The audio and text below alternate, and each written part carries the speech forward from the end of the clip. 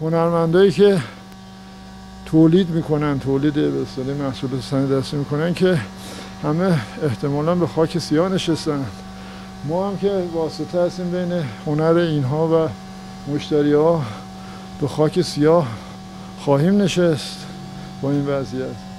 چون عمده محصولات صنایع دستی رو توریست های خارجی مثلا خریدار بودن طی سالیان گذشته. بعد که متوقف شده داخلی هم که قربونش برم اگه بتونن ماست سطح 45 تومن رو بخرن خیلی هنر کردن. دیگه سراغ هم چیزایی که در اولویت نیازشون نیست نمیان.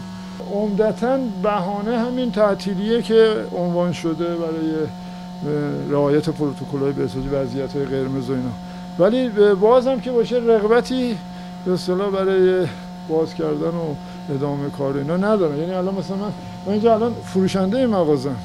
ولی خب من خدا کسی که صاحب و گرداننده مثلا مدیر این مغازه است تقریبا چیزی بوده ما 20 میلیون تومان اجاره میده. هر دوره حدود 800 900 هزار تومان یه میلیون تومان پول برقش میاد. پروژه ای بود حالا زیر نظر شهرداری اگه اشتباه نکنم با این مجموعه گردشگری و میراث فرهنگی و اینا. به هر حال یه کاری در نظر داشتن فکر کنم پارسال یا پیرار سال بود که گذره سند دستی اینجا را بندازن و بسیار خیابون رو کم کم سنگ فرش کنن و دیگه.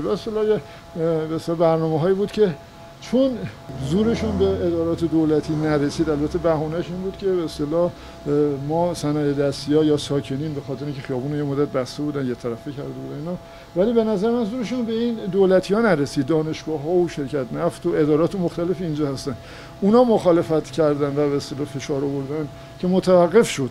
ولی اگر اون طرح با توجه به اینکه حالا من به عنوان تجربه با توجه به اینکه به صورت موقت باعث به اختلال توی فروش صنایع دستی میشه و ضربه ممکنه به ما بزنه. ولی در دراز مدت طرح خیلی خوبیه. ولی خب متاسفانه مثل خیلی چیزای دیگه تو این وضعیت مملکت ما برنامه‌ای که یه شبه تصمیم می‌گیرن و یه شبه هم به جمع میشون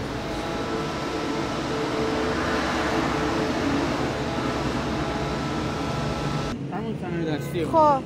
500 متر بالاتر نمیشه چرشه اونا صحبت کنن؟ آره اونا با چیز کنن. چرا؟ اجازه نداریم ما دیگه. بهمون گفتن چیز نکنیم بهتون گفتم مصاحبه نکنین. چرا؟ نکنن گفتن دیگه. حالا نمی‌دونم. از سمت معاون صنایع دستی گفتن؟ نه نه نه. خود مدیریت خودمون. آها گفتم مصاحبه. فعلا آره. ولی بازارتون خوبه. الان کرکران نصف پایین ما جوری؟ امروز اومد. ما امروز تازه اومدیم. خب. نبودیم. اومدیم تو یه سر بزنیم. خیس نشده باشه. آبی چیزی. همینجوری از تو اصلا تو این یه ساله وضعیتتون چجوری. بوده؟ آره. اصلا هیچ کسی نه سرکشی می‌کنه. دو سه دفعه هم که خبر دادیم پخش نشده حقیقتش گلگی کردیم فلان کردیم. فایده ای نداره. جالبه هیچ کدوم از همکاراتون هم مصاحبه نمی‌کنن. رو با دلیل از اون بالا می‌دونی اومدن. به خاطر همین دیگه مصاحبه نمی‌کنه ببین؟ مصاحبه هایی که شده قبلا پخش شده اومدن سه چهار سری مصاحبه کردیم گفتیم پخش میشه این صحبت هایی که میشه. آره شما خیالت راحت گلگی بوده به هر ارگانی. جوابگو نیست هیچ کی جوابگو نیست. از صدا سیماش بگیر ریاست جمهوریش بگیر همه. اینقدر وضع خرابه اینقدر وضع حالا من اگه چیز نبود شاید مثلا حالا چه می‌دونم یه صحبتی می‌کرد. ولی من الان واقعا. نمی همه اعصابشون خورده. دشت نمی‌گیرم بابا. دشت می‌دونی دشت یعنی چی؟ یعنی مثلا یه چیزی بفروشی.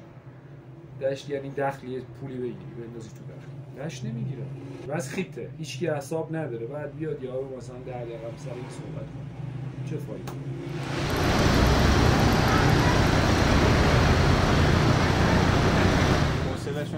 چرا حوصله ندارین؟ راجع به کارتون حوصله ندارین صحبت کنین زندگی حوصله.